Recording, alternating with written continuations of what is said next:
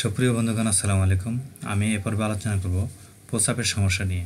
প্রস্রাবের সমস্যা সমাধান করুন খুব সহজে।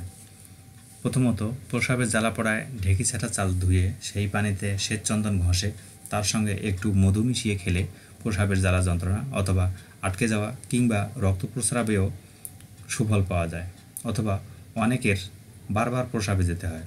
আয়ুর্বেদ শাস্ত্র মতে একে বলে সোমরোগ। এক্ষেত্রে পলাশ পাতার এক চামচ রস, সাত থেকে আট চামচ পানি মিশিয়ে সকাল বিকাল খেলে উপকার পাওয়া যায়। অথবা তুলসী পাতার রস পানিতে ভিজিয়ে চিনি মিশিয়ে খেলে প্রসাবজনিত সমস্যায় খুব উপকার হয়।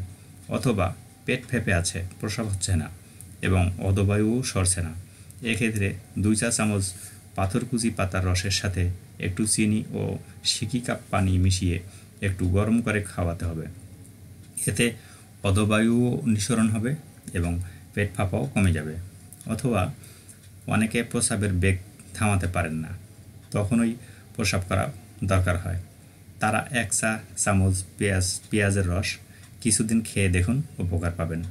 অথবা প্রস্রাবের জ্বালা পড়ায় সাথে পুজের মতো লালা ঝরলে, যাকে প্রমেহ বলা হয় এক চা চামচ কাঁচা হলুদের সঙ্গে একটু মধু বা চিনি মিশিয়ে খেলে উপশম হবে। অথবা প্রস্রাব হাতে কষ্ট হচ্ছে, অথচ পাথরই নয়। এই মূত্রকৃচ্ছতায় দেড় থেকে দুই চামচ দুর্বার রসে দুধ ও পানি মিশিয়ে খেলে ভালো ফল পাওয়া যায়। তবে অর্শ থাকলে কাজ হবে না। আমার এ তথ্যগুলো ভালো লেগে থাকলে সাবস্ক্রাইব করবেন পরবর্তী ভিডিওগুলো পাওয়ার জন্য। আর হ্যাঁ সাবস্ক্রাইব করলে আপনাদের কোনো রকম টাকা পয়সা খরচ হবে না, বরং কোনো না কোনোভাবে উপকৃত হবেন, তাতে সন্দেহ নেই। পরিশেষে আপনার সুস্বাস্থ্য কামনা করে বিদায় নিচ্ছি। দেখা হবে পরবর্তী ভিডিওতে। আল্লাহ হাফিজ।